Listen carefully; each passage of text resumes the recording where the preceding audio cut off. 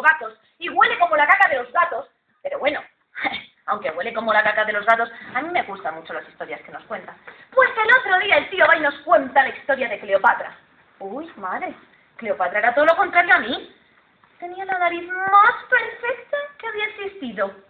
Ah, y claro, la señorita Cleopatra, como tenía la nariz perfecta, conquistó Roma. Y como Roma era el mundo, lo conquistó todo. Y entonces fue cuando Fran... Francisco José, es que cuando me vi... Ay, madre. Yo es que me pongo a temblar, se me pone la piel de gallina. Y es que no puedo, de verdad, no puedo porque... Ay, siempre sueño con Francisco José y con sus ojos azul azules. Ay, y cuando sueño con él, yo tengo una nariz normal, como la de todas las niñas.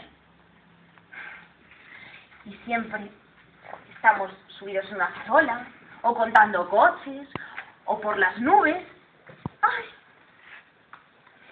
Y entonces él siempre me dice, qué guapa soy.